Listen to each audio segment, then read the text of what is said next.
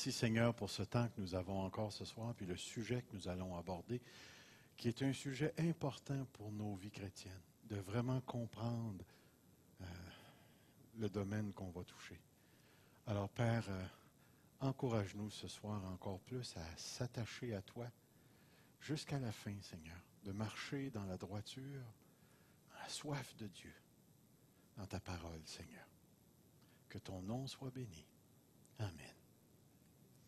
Alors, ce que nous, avons, vu, je pense à ça, à venir jusqu'ici, vous vous rappelez que l'un de nos objectifs, c'est de parler du lieu de la vie chrétienne, où ça se passe, la vie chrétienne. C'est ça qu'on veut jaser. Parce que lorsqu'on comprend ce dans quoi on est, ça va beaucoup plus, euh, moi je dirais ça, ça va être encore plus facile de comprendre pourquoi les choses nous arrivent de telle ou de telle manière. Alors, ce qu'on a vu à venir jusqu'ici, c'est qu'il y a une ligne de temps qui englobe la totalité de la création. Vous vous rappelez, on s'était fait un petit schéma, on avait marqué la ligne de temps. Cette ligne de temps est le fruit de la chute et de sa corruption. Vous vous rappelez qu'on avait vu que quelque part, très tôt, sa ligne de temps, euh, la chute euh, était arrivée, puis ça l'avait touché la totalité de la création. Dans la malédiction que Dieu donne dans la Genèse chapitre 3, euh, on se rend compte qu'il touche à tout, toute la création est affectée par la chute de l'homme. On a vu également que cette ligne de temps est appelée le siècle présent, l'âge présent ou encore le monde dans certains versets. On a vu également que le siècle présent, bien, il y a un Dieu qui caractérise le Dieu de ce siècle. On sait que c'est le diable, Satan. On a vu que on retrouve des sages selon le monde, selon le siècle présent.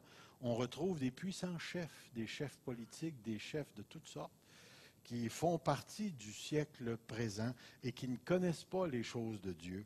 Puis on a vu en particulier que le siècle présent mauvais, comme nous décrit Galate, il est caractérisé par la rébellion contre Dieu. Est-ce que ça va venir jusqu'ici? Vous rappelez-vous de ça? Ce soir, on va regarder une autre caractéristique qui qualifie cette ligne de temps. Cette ligne de temps, on a vu, elle est caractérisée par le siècle présent, mais ce soir, on va parler de la chair. Alors, avant de commencer à rentrer dans l'étude, quand vous parlez de la chair, de quoi parlez-vous?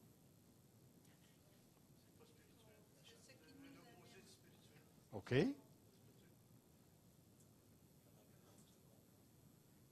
Définitivement, ça touche les comportements. Ah oui.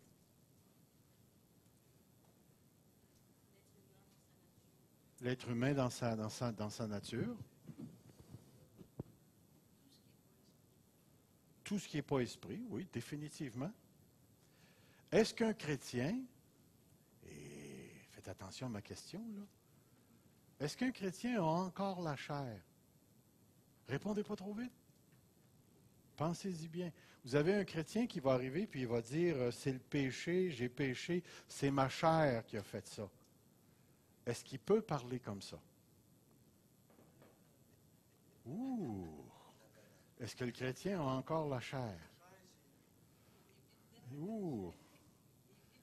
Alors on va voir ça, on va répondre à cette question-là ce soir moi, ce que j'ai remarqué, c'est que lorsque les gens parlent de la chair, et remarquez bien ce que je vais utiliser, ils en parlent d'une manière psycho-émotionnelle corporelle. Est-ce que vous savez ce que c'est que la schizophrénie? Ou, est-ce que c'est le bon mot? C'est une personne qui a une multiplicité de personnalités. C'est pas ça, hein? C'est pas de la schizophrénie. Je ne sais pas comment on appelle ça. La schizo, ils entendent des voix. Mais il y a des personnes qui se changent en, d'autres personnages.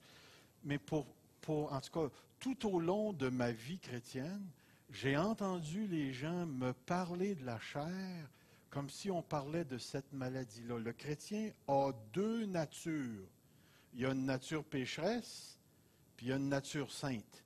Des fois, ils vont utiliser l'exemple du chien. Il y a un chien noir, puis il y a un chien blanc. puis tu vas te comporter selon celui que tu nourris le plus. Est-ce que vraiment la nature des chrétiens est divisée en deux? Parce que remarquez bien ce que je, ce vais dire. Si on a une nature pécheresse, cette nature-là ne peut pas s'améliorer. Elle est pécheresse, elle est rejetée par Dieu, elle est, si entre parenthèses, maudite. Elle a la colère de Dieu sur elle. Et si on a une nature sainte, est-ce qu'elle a besoin d'être sanctifiée? Elle est sainte. Maintenant, je vais vous poser la question autrement pour vous emmener à voir à quel point le sujet qu'on va voir ce soir, est très important. Est-ce que la conversion, c'est une amélioration de ma personne? L'ajout d'une nouvelle nature ou la transformation de ma vieille nature? Si ma vieille nature est transformée, est-ce qu'un chrétien a encore une vieille nature? Pas si vous acceptez cette hypothèse-là, cette définition-là. Voyez-vous, l'idée, l'idée c'est, qu'il faut comprendre ce que l'apôtre, ce que les apôtres ont voulu nous dire par le mot cher. Et définitivement, l'apôtre Paul répond à cette question-là. Mais l'apôtre Paul n'est pas toujours facile à comprendre parce qu'il utilise des termes avec lesquels, ben, comme le mot cher, qui ont un sens ou des sens multiples. Et rappelez-vous de ceci, c'est toujours le contexte qui détermine le sens des mots. L'exemple que j'ai déjà utilisé, c'est euh, le mot pomme. Qu'est-ce que le mot pomme veut dire? Mais vous ne pouvez pas le savoir tant qu'il n'y a pas de contexte. Si je vous parle d'un cheval, puis je dis là, il y a des pommes de route, là, vous savez qu'on parle du crottin de cheval. Mais si je vous dis, j'ai tombé dans les pommes, tu peux t'évanouir. Ou ça peut être aussi un sujet d'amour où je l'ai rencontré, puis, waouh, je suis tombé dans les pommes. Là. Ou bien je suis littéralement tombé dans un panier de pommes. C'est toujours le contexte qui détermine le sens d'un mot. Alors quand je vous le dis que je suis beau, c'est toujours moi qui ai le sens des mots que j'utilise. Puis par vos réactions, je vois que vous n'avez pas le même sens que moi. Je suis éteint.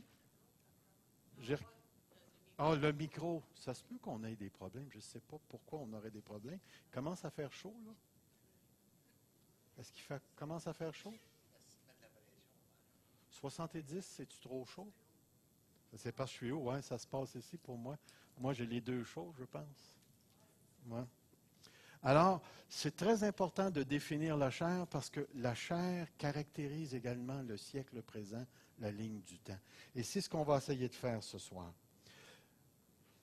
La chair peut décrire plusieurs choses dans les écrits de l'apôtre Paul. Premièrement, elle peut décrire simplement le corps physique. Regardez ici. Toute chair n'est pas la même chair. De quoi est-ce qu'on parle ici? On parle de la chair des animaux, la chair des poissons, la chair humaine. Donc, on parle de ça. Au verset 5, 29, c'est Jamais une personne n'a sa propre chair. Qu'est-ce qu'il veut dire par haïr sa propre chair? Il la nourrit, en prend soin comme le Christ le fait pour l'Église. C'est probablement son corps, mais c'est sous-entendu ici il faudrait développer le texte qui a cette question du mariage, parce que c'est le contexte dans lequel on retrouve. Mais définitivement, il fait référence au corps ici. Nourrir, en prendre soin et ainsi de suite. Le mot chair, ben là, je vous ai donné d'autres versets. Certes non, ne savez-vous pas que celui qui s'attache à la prostituée, puis remarquez bien le jeu de mots, est un seul corps avec elle, car il est dit, les deux deviendront une seule puis vous avez le mot chair, puis vous avez le mot corps ici, dans le même contexte. Dans 7.5, car depuis notre arrivée en Macédoine, notre chair n'a eu n'a pas eu le moindre repos. Nous étions affligés de toute manière, les luttes au dehors, craintes au dedans. Qu'est-ce qu'il veut dire par le mot chair Notre chair n'a pas eu de repos. Définitivement, il va parler du corps. Alors le mot peut s'appliquer littéralement au corps ou à un membre du corps. La chair peut être utilisée pour décrire la nature matérielle de l'existence humaine. Je vais vous donner quelques versets ici. C'est écrit, certes non, ne savez-vous pas que celui qui s'attache à la prostituée euh, forme un seul corps avec elle? On a lu le verset 7-5. Puis regardez le 5-29. Jamais personne, en effet, n'haït sa propre chair. Ou le mot chair peut avoir un sens plus élargi encore. Regardez ici. Ce terme est aussi appliqué à la lignée familiale. Regardez les textes. Et qui concerne son fils né de la postérité de David selon la chair. Qu'est-ce qu'on veut dire par la chair ici? La descendance la descendance. Romains 5, 9, 5. Les patriarches et de qui est issu selon la chair le Christ. On parle encore de cette descendance physique Donc le mot chair n'a pas toujours le sens de vieille nature ou de quelque chose comme ça. C'est important à saisir. Il décrit aussi les personnes dans leur fragilité finie, transitoire et faible. Autrement dit, il peut décrire l'existence humaine dans, dans ce qu'elle est. Regardez ici. J'ai été crucifié avec Christ et si je vis, ce n'est plus moi qui vis, c'est Christ qui vit en moi. Si je vis maintenant dans la chair, qu'est-ce que l'apôtre Paul veut dire? Oui, mais c'est un peu plus large que ça. Je vais enlever ça parce que je commence à En tant qu'humain, je pense que oui. Je pense que si je vis ici-bas en tant qu'humain, je vis dans cette existence ici. Dans Galates, euh, Philippiens 1.22, c'est marqué, mais s'il est utile pour mon œuvre que je vive dans la chair. Je ne saurais. Puis c'est dans le contexte où l'apôtre Paul, il ne sait pas si c'est le temps de partir ou le temps de rester, mais il va parler de vivre dans la chair, vivre dans cette existence humaine ici. Le mot ne transporte pas en lui-même de connotation morale ici. Mais j'arrive à ici, lorsque la chair, parce que c'est le mot sarx en grec, acquiert une dimension éthique ou morale, l'apôtre réfère à une force de séduction qui plonge les personnes dans l'esclavage du péché, produisant la mort physique et surnaturelle. Il y a des fois où l'apôtre Paul utilise le mot chair, puis à plus qu'une reprise, où ça fait référence à cette force qui incite les gens au péché. Donc la chair, c'est quelque chose de tout à fait particulier. Je vous ai écrit ici, la chair représente un pouvoir hostile qui soumet une personne et sa manière de vivre à l'esclavage du péché en l'opposant à Dieu, rendant inévitable la mort et la séparation d'avec Dieu. Alors lorsqu'on parle de la chair, on parle de quelque chose de tout à fait précis. On parle de, on va le voir tout à l'heure, parce que la chair est comparée à l'esprit. Donc la chair, ce qui est intéressant, c'est une sorte de force incontournable qui est là, qui est caractérisée par la rébellion contre Dieu, et qui est comme une sorte de chose, de puissance, de force qui mettent les gens sous l'esclavage du péché. Quand on va parler du péché tout à l'heure, ça va être très, très, très important pour nous de réaliser ce que Paul veut dire par le mot péché. Lorsque l'apôtre Paul utilise le mot sous, être sous, vous n'êtes plus sous la loi, mais vous êtes sous la grâce. Le mot sous fait toujours référence, dans ces contextes-là, à quelque chose qui règne, qui domine être sous. Si, admettons, vous étiez sous un gouvernement totalitaire, vous seriez gouverné avec une main de fer par un gouvernement qui vous oblige à faire des choses. Être sous quelque chose, c'est d'être sous l'emprise, sous l'esclavage, d'être à la merci de. Très intéressant. Regardez ce long texte. Ceux, en effet, qui vivent selon la chair s'affectionnent aux choses de la chair tandis que ceux qui vivent selon l'Esprit s'affectionne aux choses de l'esprit. Si on avait différentes versions ici, vivre selon, ça veut dire framer sa vie, structurer sa vie en harmonie avec la chose en question. Si vous rentriez comme militaire, vous rentrez comme dans l'armée, qu'est-ce qui va se passer avec votre vie? Votre vie va se structurer en raison de l'armée. Même chose, je ne sais pas, moi, si vous, euh, vous partez une compagnie, admettons, quelconque, puis là, vous commencez à grandir, votre vie va se structurer en raison de la compagnie, des choses comme ça. Ceux qui vivent selon la chair, ce sont des gens qui vont structurer leur vie en raison de ce que la chair représente. Et on va venir à ce qu'elle représente. Vont la structurer à partir d'une force qui s'oppose à Dieu. On va le voir ici. Ceux qui vivent selon l'Esprit s'affectionnent aux choses de l'Esprit. Et remarquez ce qu'il va dire ici. Et l'affection de la chair, c'est la mort. Tandis que l'affection de l'Esprit, c'est la vie et la paix. La chair est rattachée à la mort, et on a vu tout à l'heure que la chair est rattachée au péché. il va dire ensuite au verset 7, car l'affection de la chair, elle est inimitié, contraire d'être ami. L'inimitié contre Dieu, parce qu'elle ne se soumet pas à la loi de Dieu. Et regardez la phrase qui suit. Et qu'elle ne le peut même pas. Ça veut dire que la chair, cette force qui prend possession d'une personne, euh, l'empêche de se soumettre à Dieu. Et euh, ceux qui s'affectionnent à la chair ne peuvent même pas, ne peuvent même pas se soumettre à Dieu. La dernière phrase, or ceux qui vivent selon la chair, est-ce que je suis mort? Hein? Ça revient, ça repart? OK. Alors, euh, alors, boy, c'est. Ah, ah, ah, ah. Je ne sais pas ce qui fait ça. Alors, je vais le dire pas fort.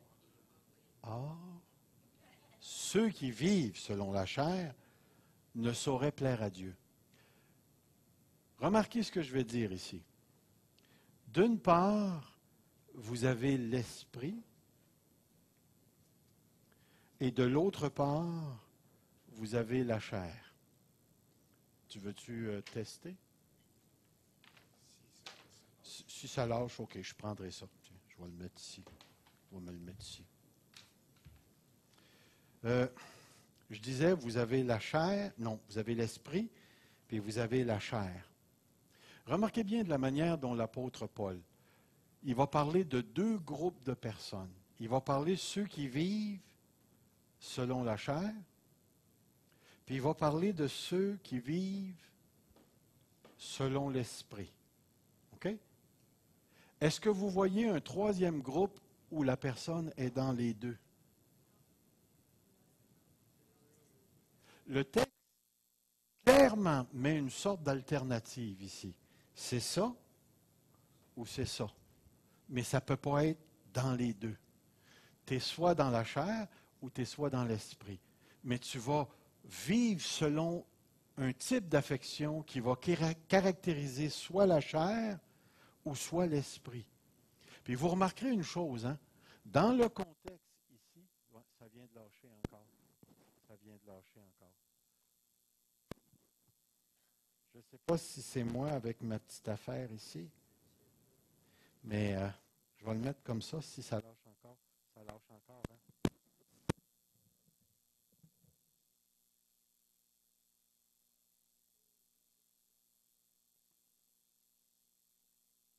libre. Un, deux. OK. Qu'est-ce que j'étais en train de dire avant d'être fâché après mon micro? OK, je ne peux pas être dans les deux. Il me semble qu'il y avait d'autres choses. Or, je parlais de deux groupes de personnes. Tu ne peux pas être dans les deux. Mais vous remarquerez une chose, hein? La personne tout entière est dans l'un ou dans l'autre. Vous ne retrouverez pas chez Paul cette notion que le chrétien a deux natures. La nature charnelle pécheresse et la nature spirituelle qui est l'esprit. Mais vous remarquerez une chose, le contraste n'est pas une défectuosité chez l'être humain, elle est comparée à deux sphères d'existence où tu vis dans l'une ou tu vis dans l'autre. Mais tu es dans une de ces deux-là. Alors, ceux qui sont dans la chair, un, sont dans la mort, comme le texte dit, ne peuvent pas se soumettre à la loi, en sont incapables et ils ne peuvent pas être agréables à Dieu. Pensez bien à ça. Là. S'il est question de deux natures, j'ai la moitié de moi-même qui est en rébellion contre Dieu, qui vit dans les plaisirs du péché et qui cherche continuellement à se rebeller contre Dieu et ne peut pas plaire à Dieu. Ça ne fait pas de sens. Donc la chair et l'esprit, remarquez ce que je veux dire, sont deux sphères d'existence. Et lorsque Christ vient te sauver, tu passes de la chair à l'esprit. On va aller un petit peu plus loin. Est-ce que vous me suivez à venir jusqu'ici? Est-ce que vous pensez que c'est vrai? J'espère que vous pensez ça. Dans la lettre aux Galates, chapitre 5, c'est marqué ceci, frères, vous avez été appelés, vous avez été appelés à la liberté, seulement ne faites pas de cette liberté un prétexte pour vivre selon la chair. Mais rendez-vous par l'amour serviteurs les uns des autres. Je dis donc, marchez par l'esprit et vous n'accomplirez pas les désirs de la chair, car la chair a des désirs contraires à qui? À l'esprit, et l'esprit a des, désirs contraires à la chair. Puis il va dire, afin, attendez-moi, je vais me retrouver, ils sont opposés entre eux afin que vous ne fassiez pas ce que vous voudriez. Tu fais ça ou tu fais ça. Mais qu'est-ce qui est sous-entendu dans le texte? Tu es l'un ou l'autre, mais il y a d'autres choses. Regardez ce qu'il va dire dans le verset 13.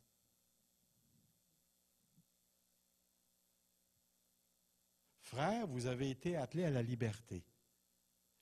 Dans le contexte ici, la liberté, savez-vous de quoi l'apôtre Paul parle? Il parle de la vie chrétienne, mais la liberté dont il parle ici, c'est la délivrance du péché. Tu es libre du péché. Mais ce qu'il va dire, c'est fais pas de cette liberté-là le fait que tu as été délivré du péché pour vivre dans le péché. Maintenant, je suis sauvé, je peux faire tout ce que je veux.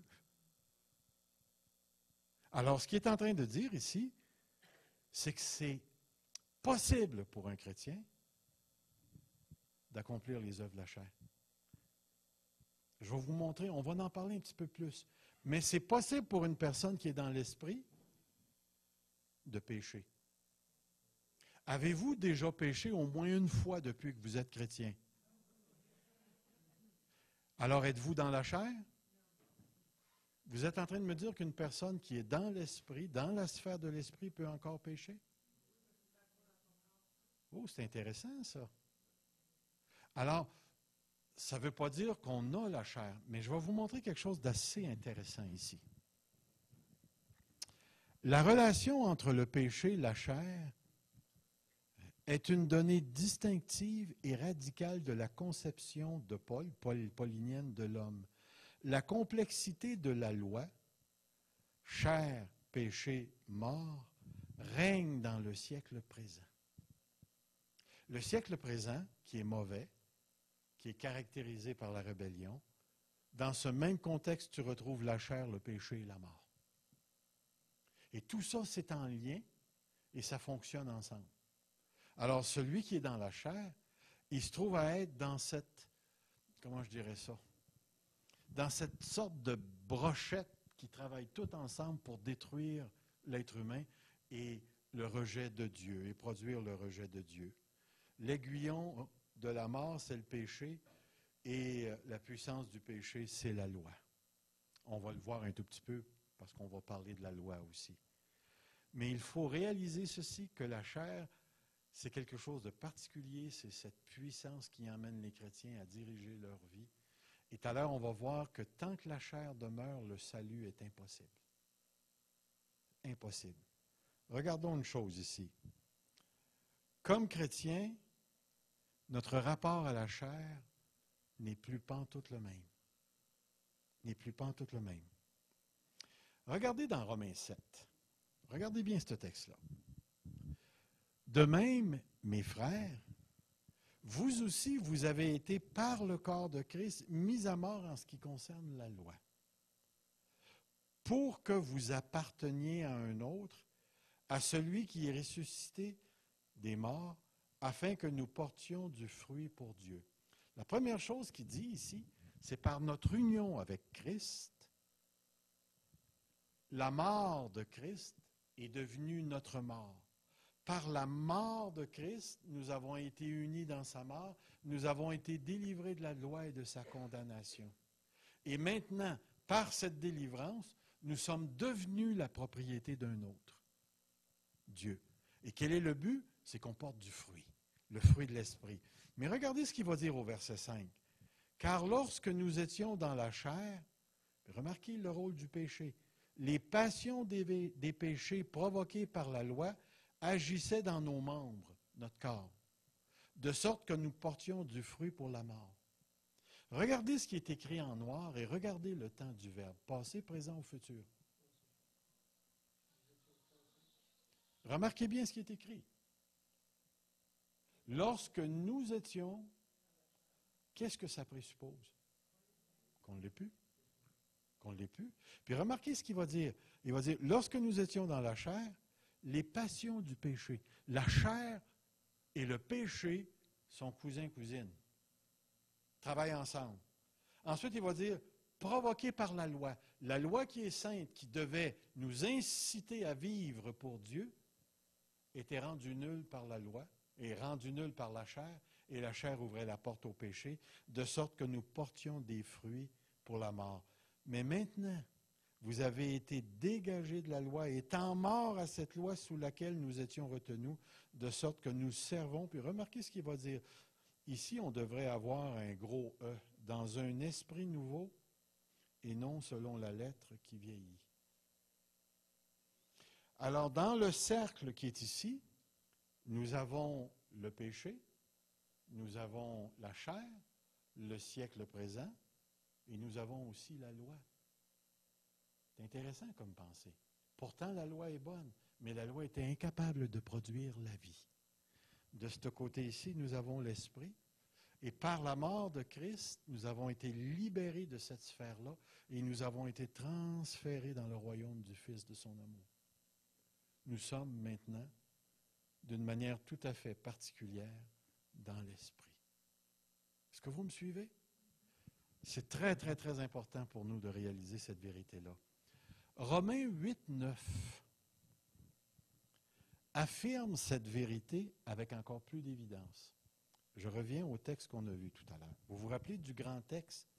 Ceux qui vivent selon la chair s'affectionnent aux choses de la chair. Puis on a terminé en disant, verset 8, Or ceux qui vivent selon la chair ne sauraient plaire à Dieu. Mais là, il est écrit pour vous. En ce qui vous concerne, vous. Alors, ce que Paul fait, c'est qu'il a présenté deux groupes, et là, il va distinguer un groupe en particulier, à ceux à qui il parle. Et là, il va dire, mais en ce qui vous concerne, vous autres, remarquez ce qui est écrit. Vous ne vivez pas selon la chair, mais selon l'esprit. Et là, il va rajouter, si du moins l'esprit de Dieu habite en vous, si quelqu'un n'a pas l'esprit de Christ, il ne lui appartient pas. Là, c'est moi, là, avec les transferts, le, petit E, là, à esprit, là, ça, c'est une de mes erreurs. Mais remarquez ce qu'il dit, vous ne vivez pas selon la chair. Moi, je me suis attardé à ce verset-là. Vivre selon la chair, vous le voyez au verset 5. Ceux qui vivent selon la chair s'affectionnent aux choses de la chair, ça mène à la mort, à la rébellion contre Dieu. Impossible de se soumettre à la loi de Dieu. Impossible d'être agréable à Dieu. Vivre selon la chair. Mais ceux qui vivent selon l'Esprit, c'est la vie et la paix. Moi, c'est un texte que je chéris énormément. Mais j'ai fait une recherche sur ce texte-là il y a plusieurs années parce que un moment donné, j'ai lu dans une autre version et j'ai eu une grande surprise. Ce que je vais faire, c'est que je vais vous montrer différentes versions que j'ai trouvées sur Internet. Regardez ce qu'il dit ici. Mais vous, vous n'êtes plus dans la chair. Et j'ai regardé dans le grec, là, et puis c'est littéral. Vous n'êtes plus dans la chair. Vous vivez dans l'esprit. Cette version-là a gardé la notion de vivre, mais la première partie du verset, elle le traduit en, en positionnant le chrétien dans l'existence. Vous n'existez plus dans la chair, mais vous vivez selon l'esprit. La Bible de Jérusalem traduit ceci. Vous n'êtes pas dans la chair, mais dans l'esprit, puisque l'esprit de Dieu habite en vous. Pour elle, elle a traduit la phrase littéralement. Pour vous, vous n'êtes plus dans la chair, mais vous êtes dans l'esprit. Donc, on positionne le chrétien en raison de l'esprit. Tu n'es plus là, mais tu es là. L'autre version qui dit, mais vous, vous n'êtes pas des êtres charnels. C'est intéressant comment ce que les autres vont traduire. chaque traduction essaie de rendre le sens du texte.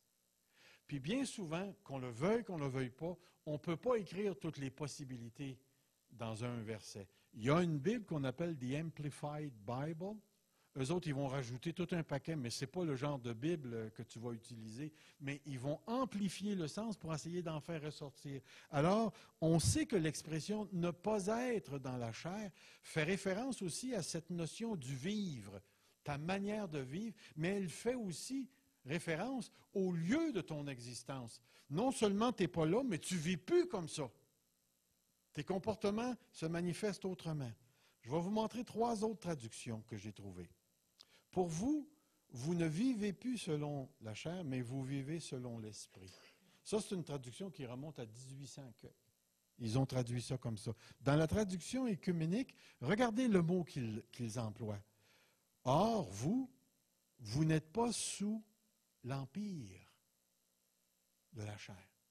La chair nous est présentée comme un empereur qui règne sur un empire et tu n'as pas le choix que de vivre pour l'empereur. Et avec toutes les conséquences que ça engendre dans ta vie. Rébellion contre Dieu, les passions de la chair, la, rébellion au niveau des pensées, rébellion religieuse, rébellion à tous les niveaux. On se débarrasse de Dieu, on fait ce qu'on veut. C'est Romains 1, quand on explique que les gens gardent captif la vérité, gardent la vérité captive quand on peut connaître Dieu, mais ils ne se sont pas souciés de connaître Dieu, donc Dieu les a livrés à. Puis là, il va parler de l'homosexualité, du lesbianisme, puis il va parler de tous les comportements de rébellion après ça un petit peu plus bas. Puis il va dire, puisqu'ils n'ont pas voulu connaître Dieu, Dieu les a livrés à une mentalité, une manière de concevoir la vie, une vision du monde qui est en rébellion contre Dieu. Alors, étonnez-vous pas que si vous avez une personne qui est très, très, très gentille, puis qui est fine avec vous, et ainsi de suite, vous commencez à lui parler de Dieu, puis elle se transforme en démon, soyez pas surpris. Dans tous ceux qui ne sont pas sauvés, ils sont dans le cadre de la structure de la rébellion contre Dieu, sous l'empire de la chair, sous la gouvernance du péché, dans la mort et sous le régime du diable. Et ça, c'est. Je vais juste vous, vous, présenter un cas qui m'est déjà arrivé. J'ai un. Je me rappelle, c'était à Sorel, on faisait du porte-à-porte pour débuter une église, puis je monte des escaliers, j'arrive, je cogne à la porte, le gars, il dit oui, je m'en viens vous présenter l'Évangile, monsieur. Puis le gars, il me fait cette réponse-là aussi plate que ça. Il dit, si je me convertis, je vais-tu pouvoir continuer à coucher avec les femmes? Vous répondez quoi à ça? Ben non. La femme n'a pas. Pourquoi? Parce que dans sa structure, il n'y avait pas de correspondance possible ou d'alliance possible entre sa manière de concevoir la vie et l'évangile de Dieu.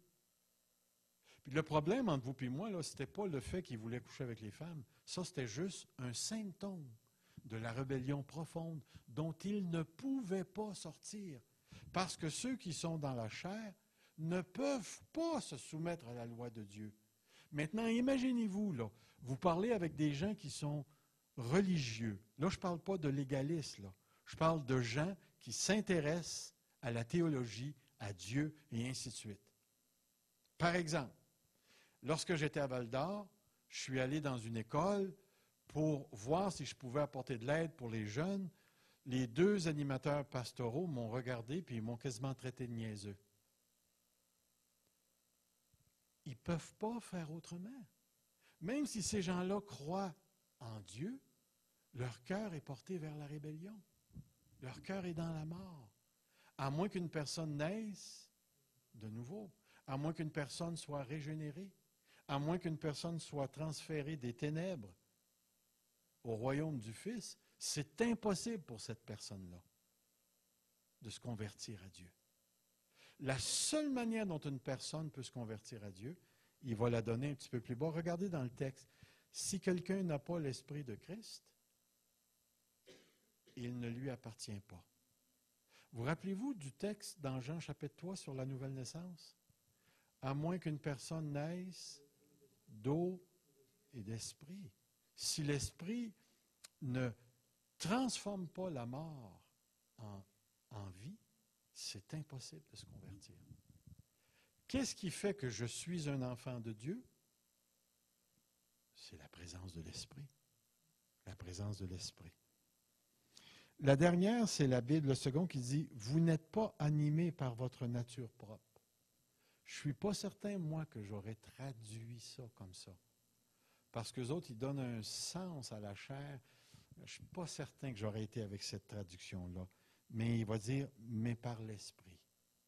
Il y a cette question d'être animé qui est un point important. Vivre selon la chair, c'est d'être animé à partir d'une puissance quelconque qui a pour but de structurer ta vie autour de quelque chose qui est dominant, qui devient le Dieu principal de, la vie d'une personne.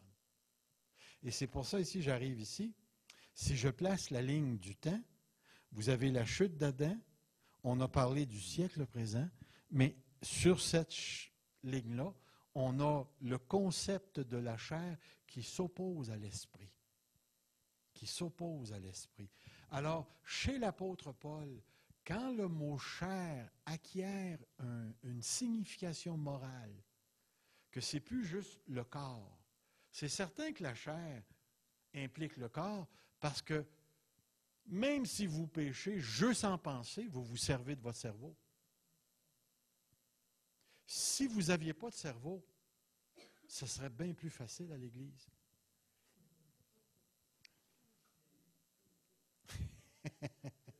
Mais là, je, voulais juste réveiller. Euh,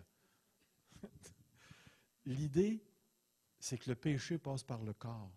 Et c'est pour ça qu'à un moment donné, dans Romains chapitre 6, ce qui est intéressant, l'apôtre Paul va aller jusqu'à dire, euh, comment est-ce qu'il dit ça? Considérez-vous comme mort au péché et comme vivant pour Dieu en Jésus-Christ. Ne livrez pas vos membres au péché. Les membres, c'est tout ça ici. C'est tout. Ne livrez pas vos membres au péché comme des instruments d'injustice, mais livrez-vous vous-même à Dieu, comme des morts revenus à la vie. Donc, le corps peut encore servir à faire le mal. On va le voir un petit peu plus loin. C'est là que ça devient important pour l'enfant de Dieu de réaliser là où il est. Il est dans l'esprit. Et parce qu'il est dans l'esprit, il a des affections particulières qu'il n'avait pas quand il était dans la chair. Et ça, c'est important à réaliser, que j'ai ces affections-là parce que l'Esprit de Dieu est en moi. Je vais vous montrer une autre chose. Je dis donc, marchez selon l'Esprit et vous n'accomplirez pas les désirs de la chair. Comment est-ce qu'on fait? Parce qu'ici, dans ce royaume-là, là, on va le voir tout à l'heure, il y a toutes sortes de désirs, puis il y a toutes sortes de fruits mais il va dire car la chair a des désirs contraires à ceux de l'esprit, et l'esprit en a de contraires à ceux de la chair. Ils sont opposés entre eux afin que vous ne fassiez point ce que vous voulez. Si vous êtes conduit par l'esprit, Remarquez ce qu'il va dire. Vous n'êtes pas sous la loi. Pour comprendre cette expression-là, il faudra l'étudier Romains 6 et 7. Être sous la loi, c'est d'être dans la chair, dans la mort, et la chair rend l'efficacité de la loi nulle. La chair rend la loi sans force. Si la loi te demande, je ne sais pas, attends un petit peu.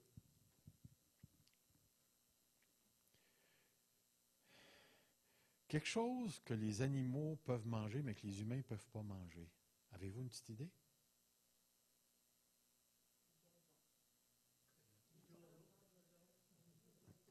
Ben, les humains font ça aussi. Hein?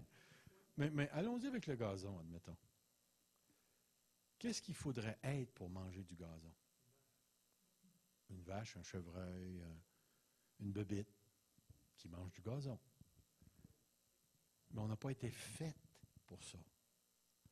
lui, ce qu'il dit, là, c'est que si vous êtes conduit par l'Esprit, vous n'avez pas été fait, refait pour être sous la loi. Mais allons un petit peu plus loin. Regardez ce qu'il va dire ici. Là, j'ai mis l'Esprit en plus gros parce que c'est plus gros et c'est plus fort que la chair, puisque c'est capable de nous délivrer. Mais remarquez entre les deux, il y a une incompatibilité totale entre la chair et l'esprit. Ceux qui s'affectionnent aux choses de la chair sont ennemis de Dieu. Ceux qui s'affectionnent aux choses de l'esprit sont en Dieu. Vous rappelez-vous du texte dans Romains chapitre 5 qui dit euh, L'espérance ne trompe point à cause de l'amour de Christ, de l'amour de Dieu qui a été déversé dans nos cœurs par le Saint-Esprit. Une personne qui a l'Esprit aime Dieu. Remarquez ce que je suis en train de dire. Une personne qui a l'Esprit aime Dieu. À un moment donné, je me suis retrouvé avec des gens qui avaient besoin de relations d'aide. Puis les gens étaient vraiment tout croche. Puis je leur ai posé la question. Parce que en psychologie, ils nous disent que si tu n'as pas été aimé, tu ne peux pas aimer. Et moi, c'est une chose que je n'ai jamais acceptée. Fait que j'ai posé la question à ces gens-là qui étaient tout croche. Est-ce que vous aimez Dieu? Spontanément, la réponse a été oui. Pourquoi? C'est des enfants de Dieu. Ils ont l'Esprit de Dieu. Est-ce que ça les empêche d'être émotionnellement croches? Pas du tout. Ces gens-là aiment Dieu, pas parce qu'ils sont psychologiquement ou émotionnellement sains, S-A-I-N, en bonne santé, ces gens-là aiment Dieu parce que l'Esprit de Dieu est en eux. Parce que s'ils étaient dans la chair, ils ne peuvent pas aimer Dieu, ni les choses de Dieu. Vous rappelez-vous du texte dans 1 Corinthiens chapitre 2 que l'homme naturel ne reçoit pas les choses de Dieu. Elles sont une folie pour lui. Mais nous qui avons l'Esprit, l'apôtre Paul va poursuivre, nous connaissons la pensée de Dieu. Nous avons cette pensée-là. Elle nous est donnée par la présence de Dieu. Donc le contraste entre la chair et l'Esprit est un contraste très, très, très, très, très important. je vous emmène ici. Remarquez ici, la chair et l'Esprit ne sont pas deux parties disparates, opposées, contraires à la nature, dans la nature humaine, mais deux sphères d'existence qui se chevauchent. Et si vous remarquez ma ligne du temps, vous avez une ligne rouge puis vous avez une ligne noire. Est-ce que vous le voyez? Puis voyez-vous la petite craque en bleu entre les deux lignes? OK. Si je pouvais tout mettre ça ensemble, c'est-à-dire de mettre la ligne rouge sur la ligne noire en gardant la craque bleue entre les deux. Pourquoi? Parce que la chair et l'esprit ne peuvent pas s'unir. Mais les deux sont vécus sur la même, dans le même espace de temps. Vous rappelez-vous de la parole du Seigneur? Vous êtes dans ce monde, mais vous n'êtes pas de ce monde. Donc, en étant dans ce monde, vous êtes dans le, le monde. Puis vous savez ce que le monde représente pour l'apôtre Jean? Le monde haït Dieu, se rebelle contre Dieu, veut détruire Dieu, et ainsi de suite. Il y a de la haine contre Dieu. Mais même vous êtes dans ça, mais vous appartenez pas à ça. L'idée de la chair, c'est pas quelque chose qu'une personne, une fois qu'elle en est sortie, euh, elle est comme dans une sorte de sphère particulière où elle touche plus à terre, elle peut marcher dans les nuages. Non, non, non, non, non, non. C'est quelque chose qui est ici et qui est là. Vous rencontrez la rébellion contre Dieu à tous les jours.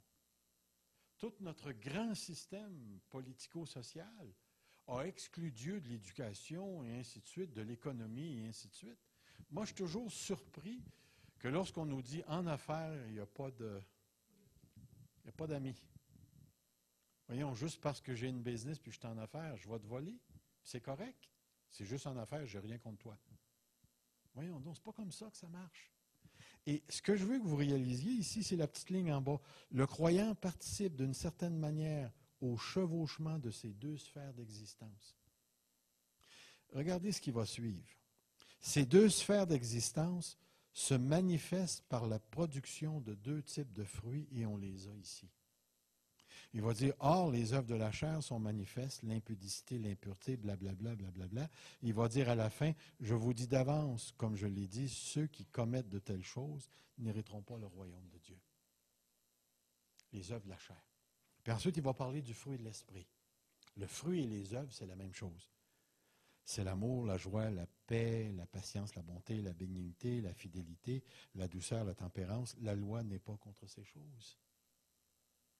Voyez-vous, il va dire, faites pas de la liberté une occasion pour vivre sous le péché. Puis il va aller un petit peu plus loin, parce que je vais vous le montrer ici.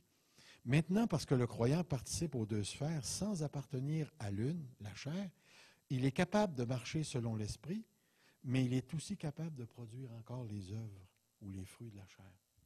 Est-ce qu'un chrétien peut tomber dans l'adultère? Est-ce qu'un chrétien peut parler contre un autre chrétien? Est-ce qu'un chrétien peut être gratteux? Manquer de miséricorde? Est-ce qu'un chrétien peut être à la recherche du pouvoir dans l'Église? Et on peut, on peut en mettre, on peut en mettre. Est-ce qu'un chrétien peut divorcer? Est-ce qu'un chrétien peut. Toutes les. Est-ce qu'un chrétien peut tuer?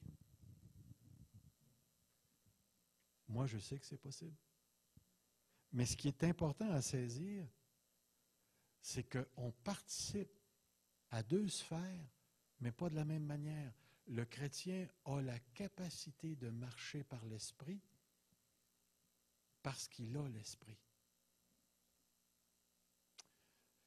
Je vais juste vous donner un petit exemple de ce que je veux dire, parce que bien souvent, on pense qu'on est juste livré à nous-mêmes, qu'on est juste livré à notre force.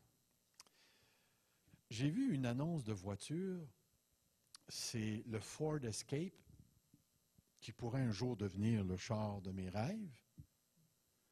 La personne est en arrière du char, elle a une boîte des mains, puis elle fait juste lever son pied en dessous du pare-choc, du bumper, puis la porte en arrière se rouvre tout seul. Wow! Quand tu penses à ça, où la personne est assise dans son char, là, puis je ne sais pas ce qu'elle fait, mais le char se stationne tout seul. Avez-vous déjà vu ça? Savez-vous ce qui est intéressant avec marcher par l'esprit? C'est que de la même manière que tu mets ton pied puis que tout le mécanisme du char se met en marche pour ouvrir. Celui qui marche par l'esprit, tout le mécanisme de l'esprit et de sainteté se met en marche lorsqu'il commence à marcher avec l'esprit. Et c'est pour ça que vous voyez, le premier commandement, c'est pas attendez que l'esprit soit là, puis après ça, marcher. C'est marcher par l'esprit. Et vous allez voir que les œuvres que l'esprit va produire dans la vie vont mettre toute la, toute la mécanique de ce fruit-là en marche dans notre vie. Et bien souvent, c'est tout ce que ça prend pour un chrétien. Faire le premier pas, puis la machine spirituelle se met en marche. Regardez ici. J'ai écrit le texte un peu plus grand. Frères, vous avez été appelés à la liberté, seulement ne faites pas de la liberté un prétexte de vivre selon la chair, mais rendez-vous par la charité, l'amour, serviteurs les uns des autres. Car toute la loi est accomplie dans une seule parole, celle-ci, tu aimeras ton prochain comme toi-même regardez le verset 15. Mais si vous vous mordez les uns les autres, est-ce que c'est possible pour des enfants de Dieu de se mordre les uns les autres? Vous avez juste à lire la lettre de Jacques et de parler de la sagesse d'en haut puis de la sagesse d'en bas puis de voir la différence. À quel point c'est terrible ce qui peut arriver. Donc, ce que je suis en train de dire, c'est que le chrétien a du pouvoir sur sa propre spiritualité. Il a du pouvoir sur sa propre spiritualité. Et il va dire, je vous dis donc, marchez par l'esprit et vous n'accomplirez pas les désirs de la chair. Voyez-vous, le gros problème de la lettre aux Galates, c'est qu'il y avait des juifs chrétiens qui voulaient imposer la loi aux païens. Parce qu'ils disaient, OK, vous avez l'esprit, mais à partir de quoi vous allez vous guider? Si vous pratiquez la loi, vous avez un cadre tout à fait précis pour suivre Dieu, parce que Dieu, tu ne tueras point, tu ne feras pas ci, tu ne feras pas ça, tu feras ça, ainsi de suite.